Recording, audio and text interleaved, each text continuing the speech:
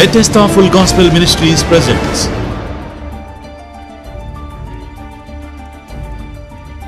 బెతెస్త సంపూర్ణ సువార్త సహవాసం నిర్వహించు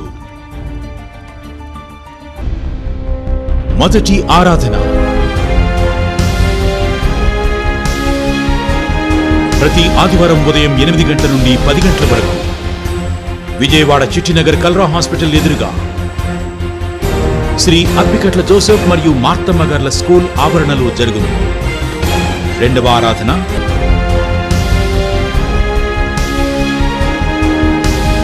ప్రతి ఆదివారం ఉదయం పది గంటల నుండి మధ్యాహ్నం ఒంటి గంట వరకు. విజయవాడ కృష్ణలంక ఫైర్ స్టేషన్ ఎదురు డౌన్లో పెద్దివారి వీధి బెతెస్తా మందిరమందు జరుగును. మూడవ ఆరాధన.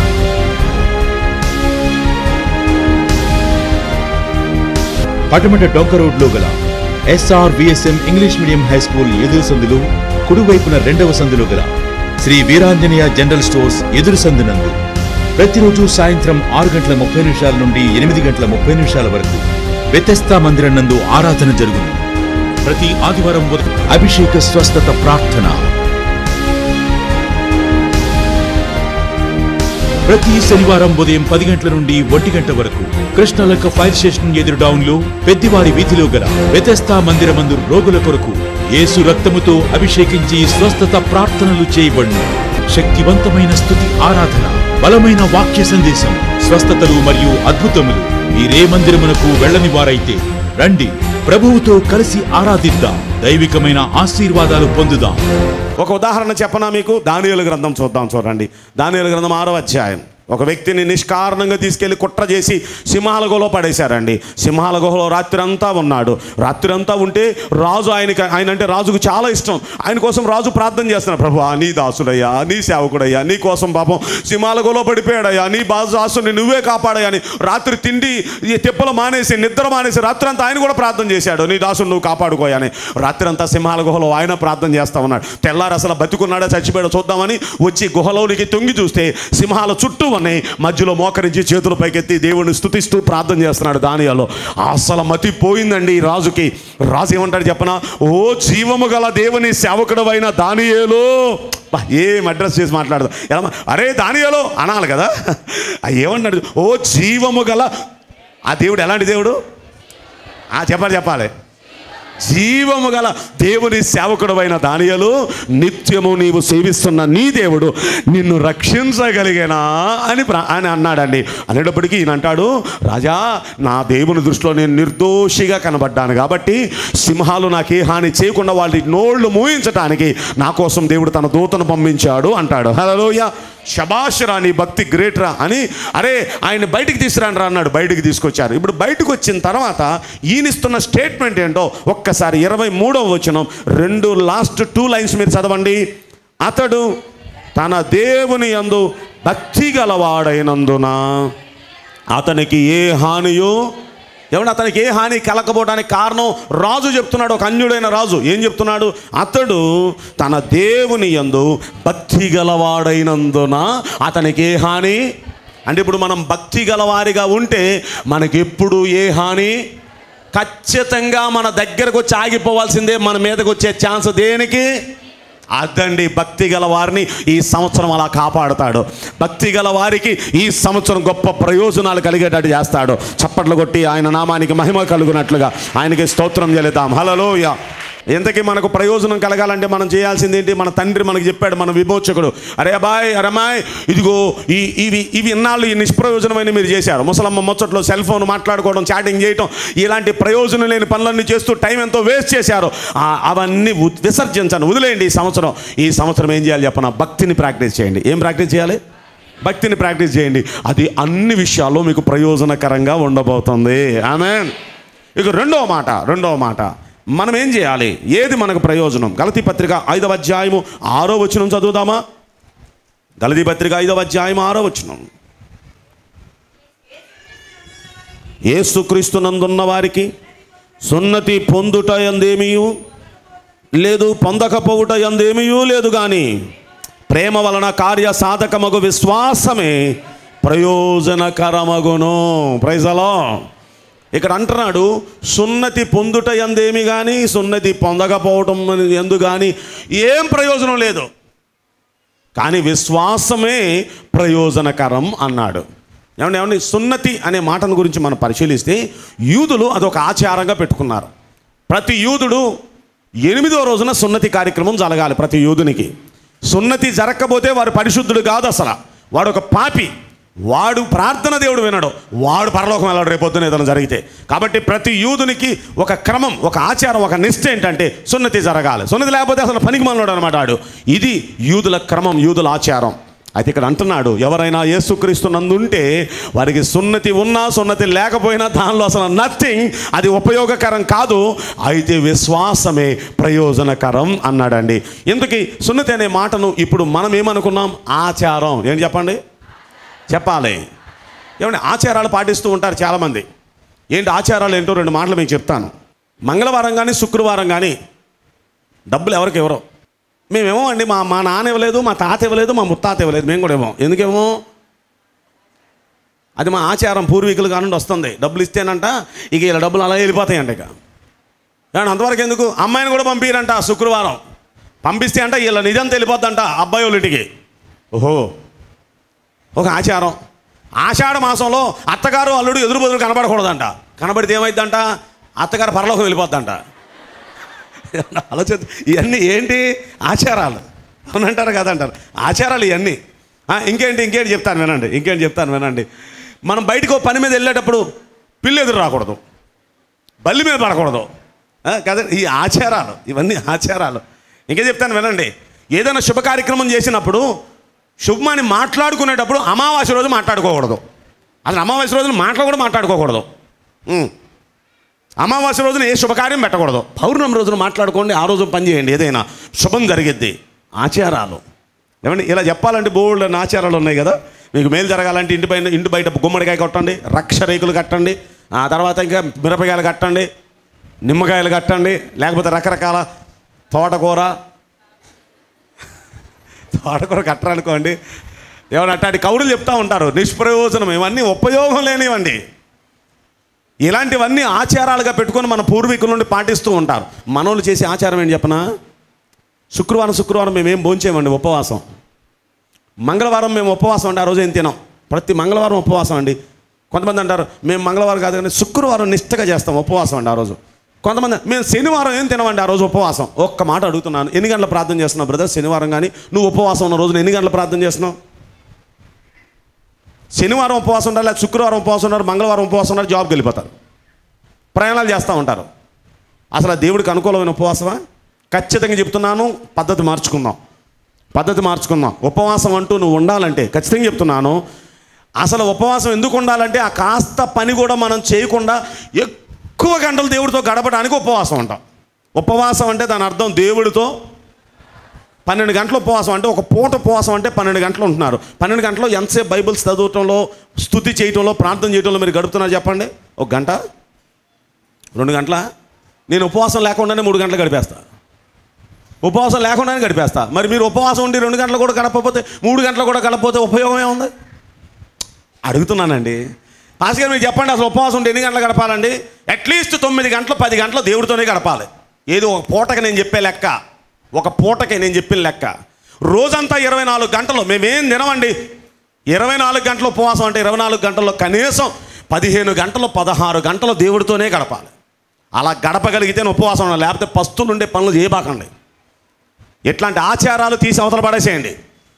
ఏదైనా చేస్తే ప్రయోజనం ఉండాలి. ఊర్లమ్మట తిరగకూడదు ఉపవాసం ఉంటే. పని చేయకూడదు ఇంట్లో బట్టలు తొక్కకూడదు వంటలు కూడా ఎక్కువ చేయకూడదు. భర్త పిల్లలు ఉంటారు కాబట్టి ఏదో నామినల్గా ఏదో చిన్న చిన్న వంటకం చేసి వాళ్ళ కోసం రెడీ చేసి మీరు మాత్రం ఎక్కువ ప్రార్థనలో గడుపుతూ ఉండాలి. ఎందుకు ఈ మాటలు చెప్తున్నానంటే ఉపవాసం ఉన్నప్పుడు ఎక్కువ గంటలు దేవునితో ఆచార ప్రకారం నేను ఇలా ఉపవాసం ఉంటా అలా ఉపవాసం ఉంటా. గత సంవత్సరాలు ఉపవాసం ఉన్న ప్రయోజనం లేకుండా అయిపోయింది మీ జీవితానికి. ఈ సంవత్సరం మీరు చేసే ప్రతి ఉపవాసం ప్రయోజనకరంగా మారునుగాక అసలు మీరు చేసే ప్రతి ప్రార్థన కూడా మీకు ఉపయోగకరంగా ఉండునుగాక మీరు మోకరిస్తే చాలు దేవుడు తన స్వరాన్ని మీకు వినిపింపజేసి మీ స్వరాన్ని ఆయన వినునుగాక అసలు మీరు చేసే ప్రతి ప్రార్థనకు జవాబు వచ్చునుగాక ప్రయోజనకరంగా ఉండునుగాక కనుక ఉపవాసం ఆచారాలు ప్రక్కన పెట్టేద్దామండి. పూర్వకాలం నుండి వస్తున్న ఆచారాలని పక్కకు దోసేసి మనకి ప్రయోజనకరంగా ఉండాలంటే ఏం చేయాలి చెప్పనా? విశ్వాసాన్ని ఆపరేట్ చేద్దాం. ఏం చేద్దామండి? విశ్వాసం ప్రయోజనం. నీకు విశ్వాసం ఉంటే గొప్ప ప్రయోజనం కలిగిద్ది. ఏమంటే విశ్వాసం ఉంటే ఏం జరిగిద్ది? ఏం జరిగిద్ది మీరు అడుగుతారా? విశ్వాసం అనేది ఉంటే అసాధ్యమైనది ఏది తండ్రి వచ్చాడు. కొడుకు ఫిట్స్ వచ్చి పడిపోతున్నాడు. ఈ కొడుకును బాగు చేయగలవా బతికించగలవా అని అడిగాడు. అప్పుడు తండ్రితో దేవుడు ఏమంటున్నాడు చెప్పనా? నమ్ముట నీ వల్ల అయితే. నమ్మువానికి సమస్తము. అంటే నువ్వు నమ్మగలిగితే అసాధ్యమైనది ఏది? నీకు విశ్వాసం ఉంటే నీకు అసాధ్యమైనది ఏమి? ఏమండి ఇంకో చోట. చచ్చిపోయిన లాజరు కుళ్ళిపోయిన లాజరు శవం దగ్గరికి వెళ్ళారు. రాయి తీయనమ్మన్నారు అయ్యా కుళ్ళిపోయింది అయ్యా వాసన వచ్చేస్తుంది. అప్పుడు అంటున్నాడు నీవు నమ్మిన ఎడల దేవుని మహిమను చూస్తావు. అంటే నమ్మిన వాళ్ళు ఏం చూస్తారు? మహిమలు చూస్తారు. అంటే విశ్వాసం నీకుంటే నువ్వేం చూస్తావు? మహిమలు చూస్తావు. విశ్వాసం ఉంటే నీకు అసాధ్యమైనది ఏది? లేదు అంతే. విశ్వాసం ప్రయోజనకరమండి. ఆచారాలు పద్ధతులు పాటిస్తూ అవిదిగో ఇన్ని వారాలు గుడికి వెళ్ళాలి. ఎన్ని వారాలు వెళ్ళాలి? బైబిల్లో లేని పద్ధతులు ఎవరో పెట్టిన పద్ధతులు ఎందుకు పాటిస్తున్నారండి? ఆచారాలు వద్దండి పద్ధతులు వద్దండి. దేవుని సన్నదిలో మనం చేసే భక్తి ప్రయోజనకరంగా ఉండాలి. ఏమని చెప్పండి? ప్రయోజనకరంగా భక్తి చేద్దాం. అంటే ఇప్పుడు మనకు విశ్వాసం ఉంటే విశ్వాసం వల్ల ప్రయోజనం విశ్వాసం వల్ల ప్రయోజనం. ఒక ఉదాహరణ నేను చెప్పి నేను ముగించాలని ఆశపడుతున్నాను. రెండు వేల ఒకటో సంవత్సరం అది. నవంబర్ నెల ముప్పయో తారీఖు.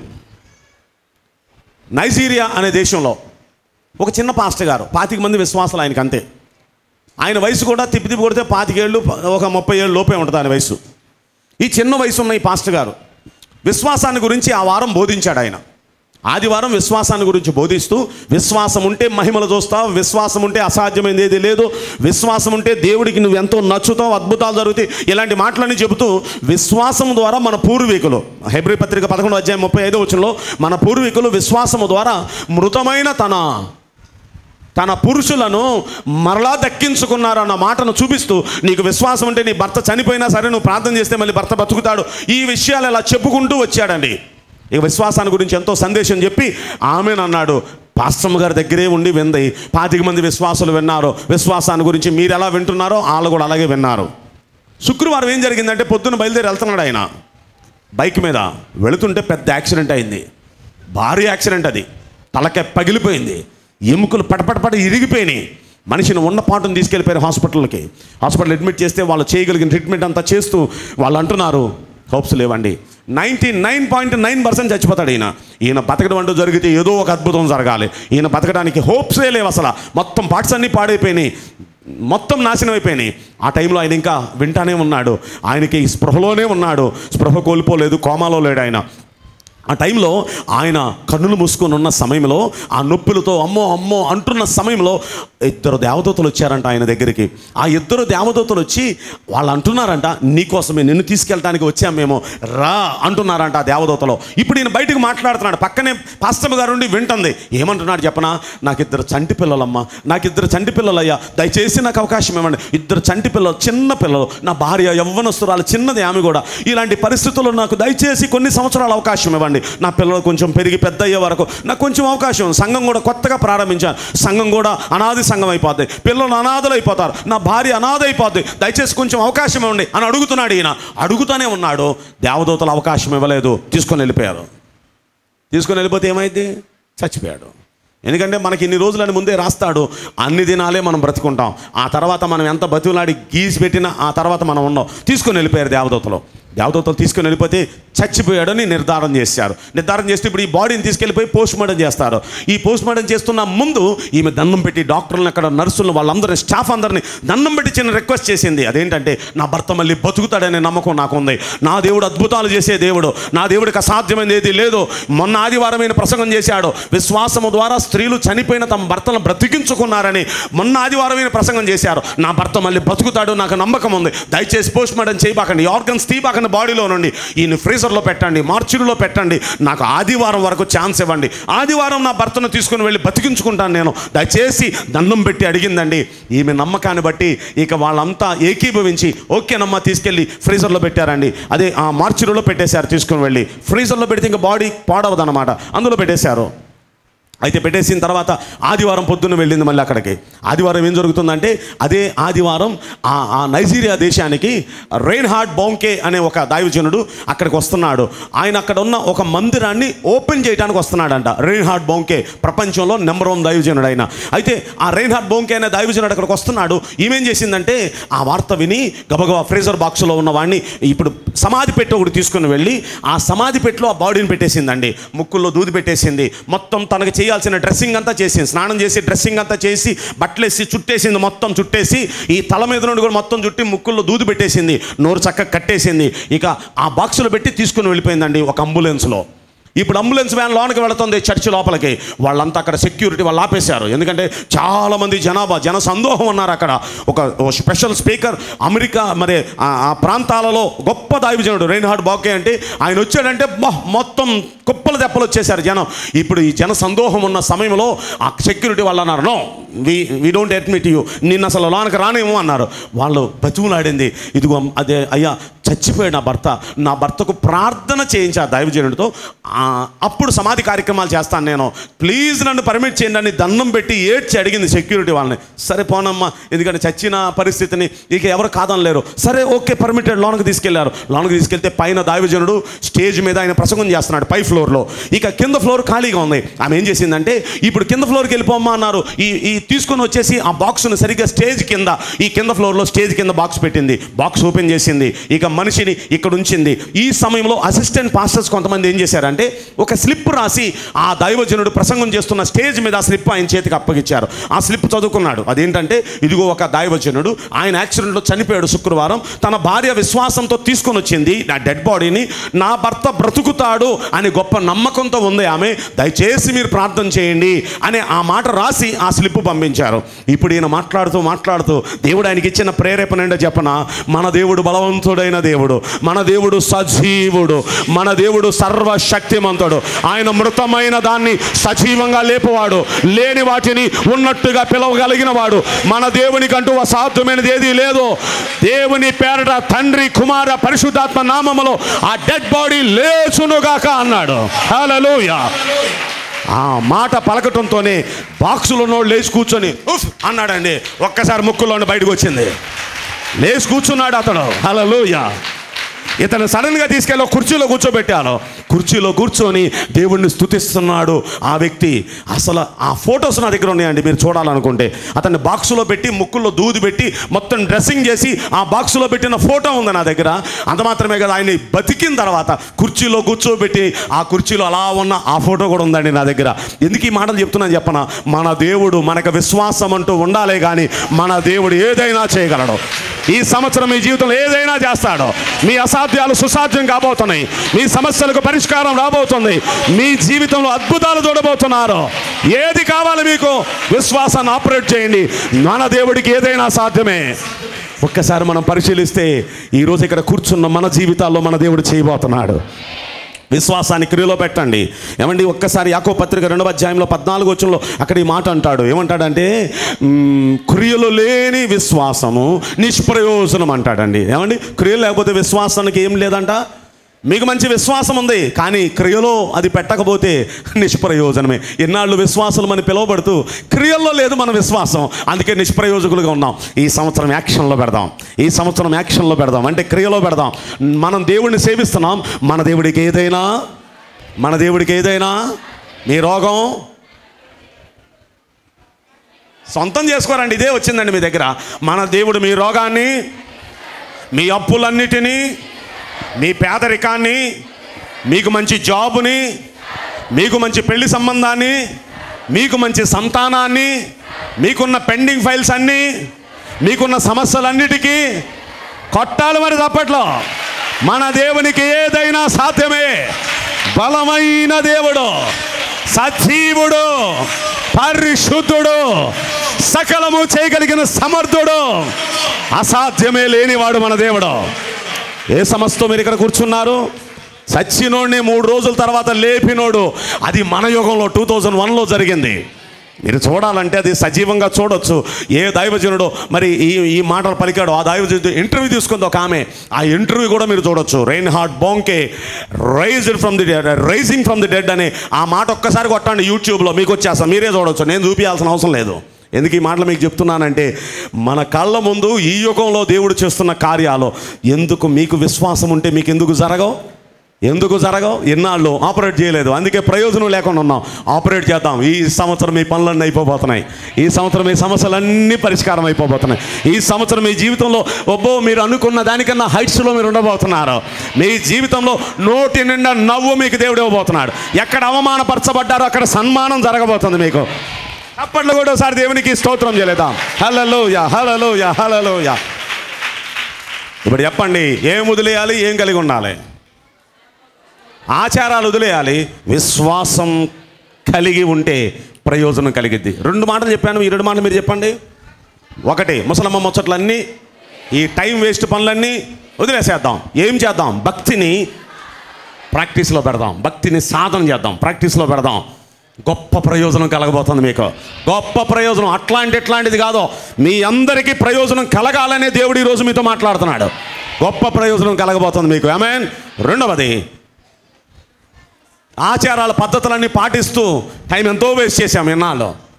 అవన్నీ వదిలేద్దాం. ఇక్కడ ఏం చేద్దాం? విశ్వాసాన్ని క్రియలో పెడదాం. విశ్వాసాన్ని ఆపరేట్ చేద్దాం. అద్భుతాలు చూడబోతున్నారు మీ ఫ్యామిలీస్లో అద్భుతాలు చూడబోతున్నారు. మీ భర్త విషయమే కానివ్వండి మీ భార్య విషయమే కానివ్వండి మీ పిల్లల విషయమే కానివ్వండి మీ ఆర్థిక విషయమే కానివ్వండి మీ ఆరోగ్య విషయమే కానివ్వండి మీ అప్పుల విషయమే అది ఏదైనా కానీ వాట్ నాట్ ఎవ్రీథింగ్ మన దేవునికి అసాధ్యమైనది ఏది? చూడబోతున్నాం కార్యాలయం this year from this moment onwards ఈ సంవత్సరం ఈ సమయం మొదలుకొని ఈ క్షణం మొదలుకొని కార్యాలు చేయబోతున్నాడు మన జీవితంలో. మనందరి జీవితాలు చేయబోతున్నాడు. ఆమె మనకి మీరు సిద్ధమా? మోకరించండి. కన్ను మూసుకోండి. ఎస్ఐయా మాకు ప్రయోజనం కలిగినట్లు మీరు మాకు ఉపదేశం చేశారు. మీ ఉపదేశాన్ని మేము పాటిస్తామయ్యా. ముసలమ్మ ముచ్చట్లు టైం వేస్ట్ చేసే పనులు మేము మానేస్తామయ్యా. భక్తిని సాధనం చేస్తామయ్యా. భక్తిని సాధనం చేస్తాం ప్రాక్టీస్ చేస్తామయ్యా కొంచెం సమయం దొరికినా భక్తి చేయటానికి తీర్మానించుకొని భక్తి చేస్తామయ్యా. ఈ సంవత్సరం గొప్ప ప్రయోజనం మాకు మీరు చేయబోతున్నారయ్యా. అయ్యా మీతో మేము సమయం గడుపుతాం భక్తిలో మేము సమయం గడుపుతాం. గత కాలాన్ని బట్టి మన్నించండి అయ్యా. టైం ఎంతో వేస్ట్ చేసామయ్యా మన్నించండి అయ్యా. ఈ సంవత్సరం మేము భక్తిని సాధనం చేస్తాం. అపవిత్రమైన ముసలమ్మ ముచ్చట్లు టైం వేస్ట్గా చేయటం ఆ పనులు మేము మానేసుకుంటామయ్యా. రెండవది ప్రభుత్వ మాట ఇవ్వండి ప్రభుకి మాట ఇవ్వండి ఈ సంవత్సరం గొప్ప ప్రయోజనాలు మీకు కలగబోతున్నాయి. అయ్యా ఆచారాల పద్ధతులు పాటిస్తూ మేము ఎన్నాళ్ళు వచ్చాం. అవన్నీ మేము వదిలేస్తామయ్యా. అయ్యా మేము విశ్వాసాన్ని క్రియలో పెడతాం ఈ సంవత్సరం. విశ్వాసాన్ని క్రియలో పెడతాం ఆపరేట్ చేస్తామయ్యా. విశ్వాసం ద్వారా మా పూర్వీకులు గొప్ప కార్యాలు చూచారు. మేము విశ్వాసాన్ని ఆపరేట్ చేసి అద్భుతాలు చూస్తామయ్యా. అయ్యా మా కట్టి కృపదాయి చేయండి విశ్వాసాన్ని క్రియలో పెట్టుటకు మాకు సహాయం చేయండి. ప్రభు మా కట్టి సహాయం చేయండి.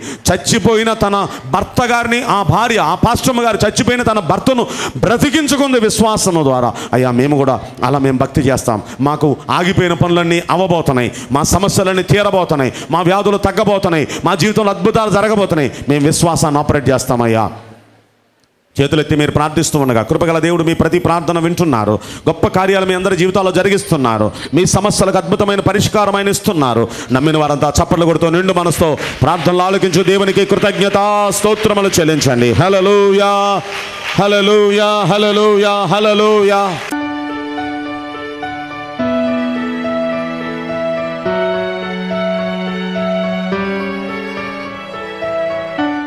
స్వస్థత అభిషేక కోడికలు ప్రతి మంగళవారం సాయంత్రం ఆరున్నర గంటల నుండి తొమ్మిది గంటల వరకు చిట్టినర స్కూల్లో జరుగును. ప్రతి శుక్రవారం సాయంత్రం పటమట చర్చిలో. ప్రతి శనివారం ఉదయం పది గంటల నుండి ఒంటి గంట వరకు కృష్ణలంక చర్చిలో జరుగును. స్తుతి ఆరాధన అభిషేక ప్రార్థనలు బలమైనటువంటి వాక్య సందేశం జరుగును.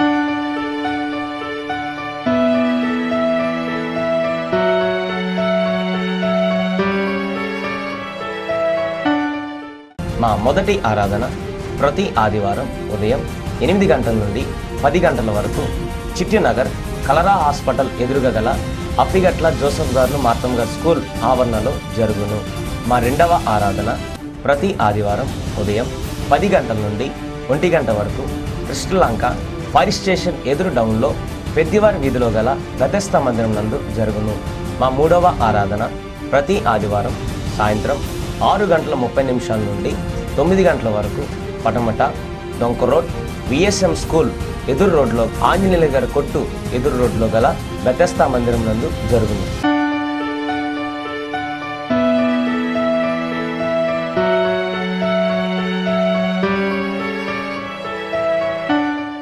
స్త్రీల ప్రతి నెల రెండవ వారంలో సోమవారం కృష్ణలంక చర్చిలో బుధవారం పటమట్లో గురువారం చిట్టినార్ చర్చిలో ఆరున్నర గంటల నుండి తొమ్మిది గంటల వరకు జరుగును. ఈ కూడికలకు మిమ్మల్ని ప్రత్యేకముగా ఆహ్వానించుచున్నాము. అందరికీ వందనాలు.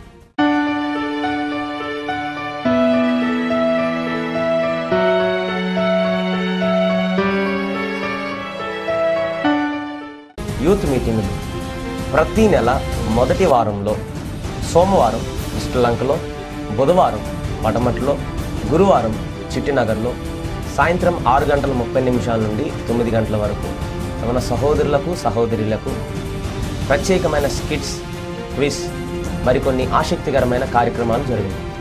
ఈ ఆరాధనలకు యూత్ మీటింగ్లకు మిమ్మల్ని ప్రత్యేకముగా ఆహ్వానిస్తున్నాము. మీ అందరికీ నా వందనాలు.